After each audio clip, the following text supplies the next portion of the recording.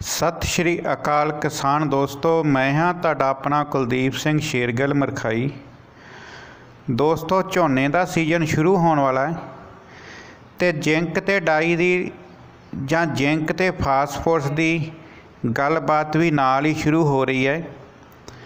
ਇਹ ਕਿਉਂ ਇਕੱਠੇ ਪਾਉਣੇ ਆ, ਇਕੱਠੇ ਨਹੀਂ ਪਾਉਣੇ, ਕੀ ਸਬੰਧ ਹੈ ਝਾੜ ਤੇ ਵਧਣ ਤੇ ਘਟਣ ਤੇ, ਉਸ ਪ੍ਰਤੀ ਮੈਂ ਇਸ ਵੀਡੀਓ ਦੇ ਵਿੱਚ ਤੁਹਾਡੇ ਨਾਲ ਗੱਲਬਾਤ ਕਰਾਂਗਾ। ਥੋੜੀ ਜੀ ਟੈਕਨੀਕਲ ਵੀਡੀਓ ਹੋਏਗੀ, ਕੋਈ ਵੀ ਟੁੱਲ ਨਹੀਂ ਮਾਰਿਆ ਜਾਏਗਾ। ਜੋ ਰਿਸਰਚ ਦੇ ਆਧਾਰ ਤੇ ਤੁਹਾਡੇ ਨਾਲ ਮੈਂ ਗੱਲ ਕਰਾਂਗਾ, ਤਾਂ ਇਸ ਵੀਡੀਓ ਨੂੰ ਧਿਆਨ ਨਾਲ ਅਖੀਰ ਤੱਕ ਸੁਣਨਾ। ਦੋਸਤੋ, ਜੇਕਰ ਮੈਂ ਫਾਸਫੋਰਸ ਦੀ ਗੱਲ ਕਰਾਂ, ਤਾਂ ਫਾਸਫੋਰਸ ਮਤਲਬ ਕਿ ਤੁਹਾਡੀ ਡੀਏਪੀ ਤੁਹਾਡਾ ਐਨਪੀਕੇ ਅਤੇ ਸੁਪਰ ਤੋਂ ਹੋਏਗਾ। ਜੇਕਰ ਜਿੰਕ ਦੀ ਗੱਲ ਕਰਾਂਗਾ 33% ਜਿੰਕ ਹੈ ਜਾਂ 21% ਜਿੰਕ ਹੈ? ਜ਼ਮੀਨ ਦੇ ਵਿੱਚ ਚਲੇਟਡ ਜਿੰਕ ਭੁੱਲ ਕੇ ਵੀ ਨਹੀਂ ਪਾਉਣੀ।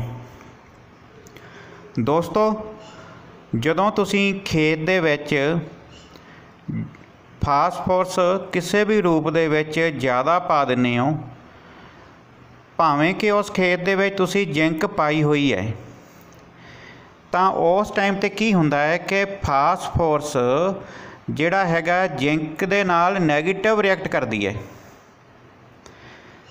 ਪਹਿਲੀ ਗੱਲ ਤਾਂ ਇਹ ਹੈਗੀ ਹੈ ਕਿ ਜੋ ਸਾਡੀ ਧਾਰਨਾ ਬਣੀ ਹੋਈ ਹੈ ਕਿ ਅਸੀਂ ਜਿੰਕ ਤੇ ਫਾਸਫੋਰਸ ਨੂੰ ਜੇ ਦੇਣਾ ਹੈਗਾ ਫਾਸਫੋਰਸ ਤਾਂ ਉਹਨੂੰ ਅਲੱਗ-ਅਲੱਗ ਤਹਿ ਦੇ ਵਿੱਚ ਦੇਣਾ। ਅਲੱਗ-ਅਲੱਗ ਤਹਿ ਦਾ ਮਤਲਬ ਕੀ ਹੈ ਕਿ ਤੁਸੀਂ ਜਿਹੜੀ ਹੈਗੀ ਹੈ ਸੁਪਰ ਉਸ ਸੁਹਾਗੇ ਦੇ ਥੱਲੇ ਪਾ ਕੇ ਪਾਣੀ ਛੱਡ ਸਕਦੇ ਹੋ। ਤੁਸੀਂ ਜਿਹੜਾ ਹੈਗਾ ਸੁਪਰ ਜਿਹੜੀ ਇਹ ਨਹੀਂ ਕਿ 6-8 ਦਿਨ ਪਹਿਲਾਂ ਪਾ ਦੇਣੀ ਉਹ ਵੀ ਗਲਤ ਹੈ। ਤੇ ਜਾਂ ਤੁਸੀਂ ਕੱਦੂ ਦੇ ਵਿੱਚ ਸੁੱਟ ਦੇਣੀ ਹੈ ਤੇ ਉਸ ਤੋਂ ਬਾਅਦ ਦੇ ਵਿੱਚ ਝੋਨਾ ਲੱਗਣ ਤੋਂ ਬਾਅਦ ਚ ਜਿੰਕ ਪਾ ਦੇਣੀ ਹੈ। ਤਾਂ ਇਹ ਤਾਂ ਇੱਕ ਗੱਲ ਇਹਨੂੰ ਪਾਉਣ ਦੀ ਹੋ ਗਈ। ਲੇਕਿਨ ਮੈਂ ਅਗਲੀ ਗੱਲ ਕਰਦਾ ਹਾਂ ਕਿ ਜਦੋਂ ਅਸੀਂ ਜ਼ਿਆਦਾ ਸੁਪਰ ਪਾਤੀ, ਭਾਵੇਂ ਕੱਦੂ ਥੱਲੇ ਹੀ ਪਾਤੀ, ਜੇ ਉਹਦੀ ਹੱਦੋਂ ਵੱਧ ਸੁਪਰ ਡਾਈ ਜਾਂ ਐਨਪੀਕੇ ਪਾ ਦਿੱਤਾ, ਤਾਂ ਜ਼ਮੀਨ ਦੇ ਸੋਲੂਸ਼ਨ ਦੇ ਵਿੱਚ ਜਿਹੜਾ ਫਾਸਫੋਰਸ ਦੀ ਮਾਤਰਾ ਜ਼ਿਆਦਾ ਹੋ ਜਾਊਗੀ ਤੇ ਇਹਦਾ ਐਂਟਾਗੋਨਿਜ਼ਮ ਰਿਐਕਸ਼ਨ ਹੋਏਗਾ, ਮਤਲਬ ਕਿ ਉਲਟਾ ਰਿਐਕਸ਼ਨ ਹੋਏਗਾ। ਉਹ ਕੀ ਹੋਊਗਾ?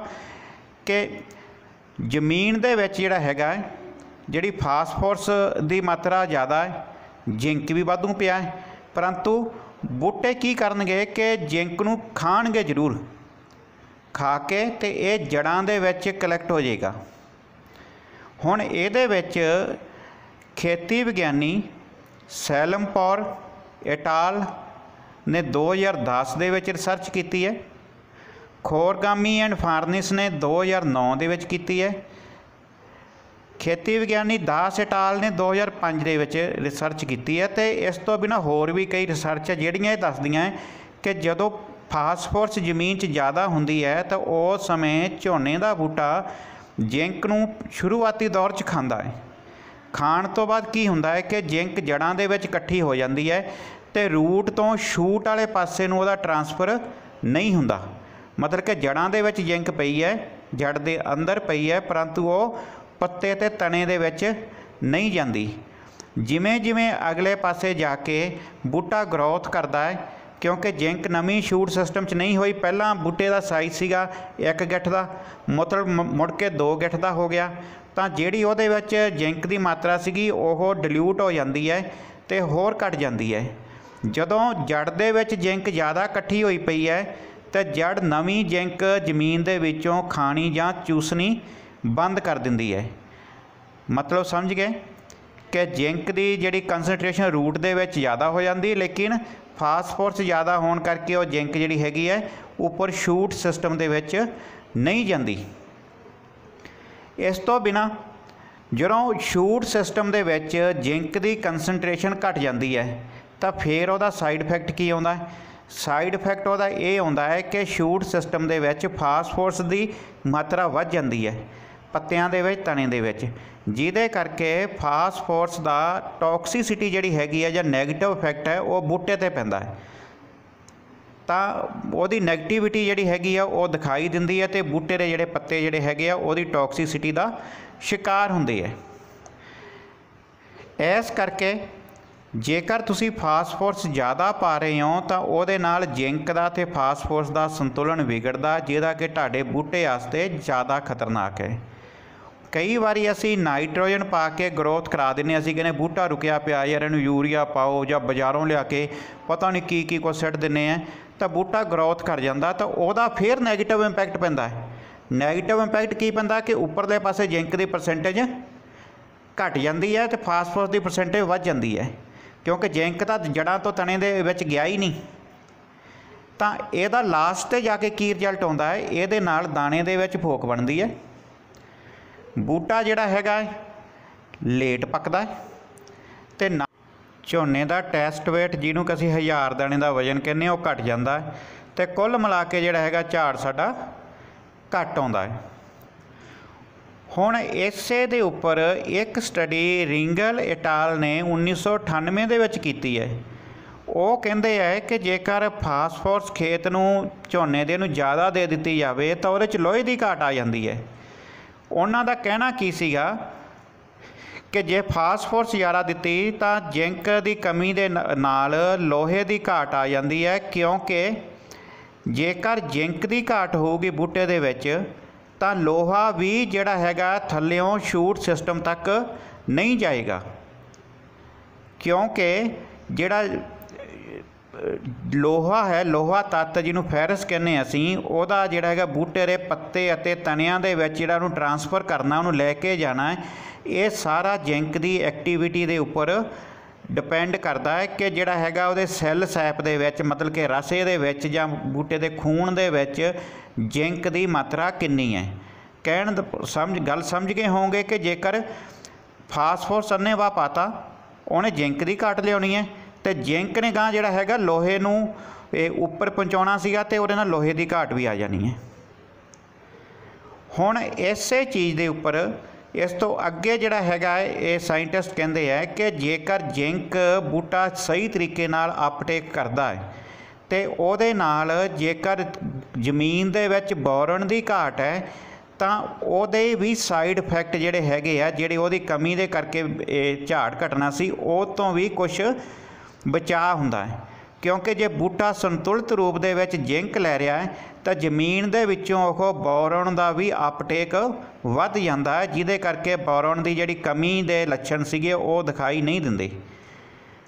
ਹਰਿਆਣਾ ਐਗਰੀਕਲਚਰ ਯੂਨੀਵਰਸਿਟੀ ਦੇ ਵਿੱਚ 1980 ਦੇ ਵਿੱਚ ਹਿਸਾਰ ਵਿਖੇ ਸੋਇਲ ਸਾਇੰਸ ਦੇ ਵਿਗਿਆਨਿਕ ਡਾਕਟਰ ਮਹਿੰਦਰ ਸਿੰਘ ਤੇ ਡਾਕਟਰ ਐਸਪੀ ਸਿੰਘ ਨੇ ਗ੍ਰੀਨ ਹਾਊਸ ਦੇ ਵਿੱਚ ਇੱਕ ਐਕਸਪੈਰੀਮੈਂਟ ਕੀਤਾ। ਇੱਕ ਖੇਤ ਦੇ ਵਿੱਚ ਕਣਕ ਨੂੰ ਪੂਰੀ ਫਾਸਫੋਰਸ ਡਾਇਆ ਰਾਹੀਂ ਤੇ ਸੁਪਰ ਰਾਹੀਂ ਦਿੱਤੀ ਗਈ ਤੇ ਝੋਨੇ ਨੂੰ ਪੂਰੀ ਜ਼ਿੰਕ ਦਿੱਤੀ ਗਈ ਤੇ ਉਹਦਾ ਝਾੜ ਦੇਖਿਆ ਗਿਆ ਤਾਂ ਉਹਦਾ ਝਾੜ ਬਾਕੀ ਖੇਤਾਂ ਦੇ ਨਾਲੋਂ ਵੱਧ ਸੀਗਾ। ਦੂਜੇ ਖੇਤ ਦੇ ਵਿੱਚ ਕਣਕ ਨੂੰ ਫਾਸਫੋਰਸ ਘੱਟ ਪਾਈ ਸੀ। ਉਹ ਫਾਸਫੋਰਸ ਝੋਨੇ ਨੂੰ ਪਾਈ ਗਈ ਜਿੰਨੀ ਕ- ਕਣਕ ਨੂੰ ਘੱਟ ਪਾਈ ਸੀ ਤੇ ਝੋਨੇ ਨੂੰ ਪਾਉਣ ਤੋਂ ਬਾਅਦ ਦੇ ਵਿੱਚ ਉਹਨੂੰ ਜ਼ਿੰਕ ਵੀ ਦਿੱਤੀ ਗਈ ਤਾਂ ਦੇਖਿਆ ਗਿਆ ਕਿ ਉਹਦਾ ਝਾੜ ਵੀ ਬਰਾਬਰ ਸੀ। ਹੁਣ ਕੁਝ ਪਲਾਟ ਦੇ ਵਿੱਚ ਉਹਨਾਂ ਨੇ ਜ਼ਿੰਕ ਦੀ ਮਾਤਰਾ ਵੀ ਵਧਾਈ, ਪਰ ਨਾਲ ਫਾਸਫੋਰਸ ਦੀ ਮਾਤਰਾ ਵੀ ਜਿਹੜਾ ਹੈਗਾ ਹੱਦੋਂ ਜ਼ਿਆਦਾ ਦਿੱਤੀ ਗਈ। ਤਾਂ ਉਹਦੇ ਵਿੱਚ ਦੇਖਿਆ ਗਿਆ ਕਿ ਜਿਵੇਂ ਜਿਵੇਂ ਫਾਸਫੋਰਸ ਮਤਲਬ ਕਿ ਡਾਈ ਦੇ ਵਿੱਚੋਂ ਮਿਲਦਾ, ਤੁਹਾਨੂੰ ਇਹ ਸੁਪਰ ਚੋਂ ਮਿਲਦਾ ਐਨਪੀਕੇ ਚੋਂ ਮਿਲਦਾ, ਜਿਵੇਂ ਜਿਵੇਂ ਇਹਦੀ ਮਾਤਰਾ ਖੇਤ ਦੇ ਵਿੱਚ ਵਧਾਈ ਗਈ, ਉਸੇ ਤਰੀਕੇ ਦੇ ਨਾਲ ਬੂਟੇ ਦੇ ਨਾੜ ਦੇ ਵਿੱਚ ਤੇ ਅੱਗੇ ਝੋਨੇ ਦੇ ਦਾਣਿਆਂ ਦੇ ਵਿੱਚ ਜ਼ਿੰਕ ਦੀ ਮਾਤਰਾ ਘੱਟ ਪਾਈ ਗਈ ਤੇ ਇਹਨਾਂ ਖੇਤਾਂ ਦੇ ਵਿੱਚ ਬੂਟਿਆਂ ਨੇ ਫੋਕ ਜ਼ਿਆਦਾ ਬਣਾਈ। ਦਾਣੇ ਦਾ ਵਜਨ ਘਟ ਰਿਹਾ, ਮਤਲਬ ਕਿ ਟੈਸਟ weight ਘਟ ਗਿਆ ਤੇ ਕੁੱਲ ਮਿਲਾ ਕੇ ਝਾੜ ਵੀ ਘਟ ਗਿਆ। ਹੁਣ ਜੇਕਰ ਆਪਾਂ ਜੋ ਇਹ ਮੈਂ ਸਾਇੰਟਿਸਟ ਲਏ ਆ, ਕੋਈ ਹਿਸਾਰ ਦਾ ਹੈਗਾ, ਕੋਈ ਜਿਹੜਾ ਹੈਗਾ ਇਹ ਬਾਹਰਲੇ ਦੇਸ਼ ਦਾ ਹੈਗਾ, ਕੋਈ ਇੰਟਰਨੈਸ਼ਨਲ ਰਾਈਸ ਰਿਸਰਚ ਇੰਸਟੀਚਿਊਟ ਦੇ ਸਾਇੰਟਿਸਟ ਹੈ ਉਹਨਾਂ ਸਾਰਿਆਂ ਦਾ ਇਹ ਕਹਿਣਾ ਹੈਗਾ ਕਿ ਜੇਕਰ ਫਾਸਫੋਰਸ ਦੀ ਮਾਤਰਾ ਤੁਸੀਂ ਹੱਦ ਤੋਂ ਵੱਧ ਯੂਜ਼ ਕਰੋਗੇ, ਤਾਂ ਉਹਦੇ ਨਾਲ ਤੁਹਾਡੀ ਜ਼ਿੰਕ ਬੂਟਾ ਘੱਟ ਚੂਸੇਗਾ। ਤੇ ਕੁੱਲ ਮਿਲਾ ਕੇ ਜ਼ਿੰਕ ਦੀ ਜਿਹੜੀ ਹੈਗੀ ਹੈ ਘਾਟ ਬੂਟੇ ਦੇ ਵਿੱਚ ਆਏਗੀ। ਜ਼ਿੰਕ ਦੀ ਘਾਟ ਆਉਣ ਕਰਕੇ ਲੋਹੇ ਦੀ ਘਾਟ ਆਏਗੀ ਤੇ ਨਾਲ ਜਿਹੜਾ ਹੈਗਾ ਬੋਰਨ ਤੱਤ ਦੀ ਵੀ ਘਾਟ ਆਊਗੀ। ਜਿਹਦੇ ਨਾਲ ਤੁਹਾਡੇ ਖੇਤ 'ਚ ਫੋਕ ਬਣੇਗੀ, ਦਾਣਿਆਂ ਦਾ ਵਜਨ ਘਟੇਗਾ, ਕੁੱਲ ਮਿਲਾ ਕੇ ਝਾੜ ਘਟੇਗਾ। ਇਸ ਕਰਕੇ ਕਿਸਾਨ ਵੀਰੋ, ਫਾਸਫੋਰਸ ਤੱਤ ਲਿਮਟ ਦੇ ਵਿੱਚ ਦੇਵੋ। ਜੇਕਰ ਕਣਕ ਨੂੰ ਤੁਸੀਂ ਜਿਹੜਾ ਹੈਗਾ ਪੂਰੀ ਡਾਇਆ ਖਾਦ ਜਾਂ ਉਹਦੇ ਨਾਲ ਸੁਪਰ ਖਾਦ ਪਾ ਕੇ ਦਿੱਤੀ ਹੈ ਤਾਂ ਝੋਨੇ ਨੂੰ ਕੋਈ ਲੋੜ ਨਹੀਂ ਇਹ ਖਾਦਾਂ ਦੇਣ ਦੀ। ਜੇ ਕਣਕ ਨੂੰ ਤੁਸੀਂ ਖਾਦ ਘੱਟ ਪਾਈ ਸੀਗੀ, ਤਾਂ ਫਿਰ ਤੁਸੀਂ ਜਿਹੜਾ ਹੈਗਾ ਇੱਥੇ ਕੱਦੂ ਦੇ ਵਿੱਚ ਸੁਪਰ ਪਾ ਕੇ ਉਹਦੀ ਪੂਰਤੀ ਕਰ ਸਕਦੇ ਹੋ। ਇਹਦੇ ਨਾਲ ਤੁਹਾਡਾ ਪੈਸਾ ਵੀ ਬਚੇਗਾ, ਤੁਹਾਡਾ ਝਾੜ ਵੀ ਵਧੇਗਾ। ਕੱਲ੍ਹ ਵਾਲੀ ਵੀਡੀਓ ਦੇ ਵਿੱਚ ਗੱਲ ਕਰਾਂਗਾ ਕਿ ਜਿੰਕ ਕਿੰਨੀ ਜ਼ਰੂਰ ਪਾਉਣੀ ਹੈ ਤੇ ਕਿਸ ਤਰੀਕੇ ਦੇ ਨਾਲ ਉਹ ਕੰਮ ਕਰਦੀ ਹੈ। ਦੋਸਤੋ, ਵੀਡੀਓ ਚੰਗੀ ਲੱਗੇ ਤਾਂ ਲਾਈਕ ਅਤੇ ਸ਼ੇਅਰ ਜ਼ਰੂਰ ਕਰਨਾ। ਜਿਨ੍ਹਾਂ ਵੀਰਾਂ ਨੇ ਚੈਨਲ ਸਬਸਕ੍ਰਾਈਬ ਨਹੀਂ ਕੀਤਾ ਹਜੇ ਤੱਕ, ਉਹ ਲਾਲ ਬਟਨ ਨੱਪ ਕੇ ਚੈਨਲ ਜ਼ਰੂਰ ਸਬਸਕ੍ਰਾਈਬ ਕਰ ਲੈਣ।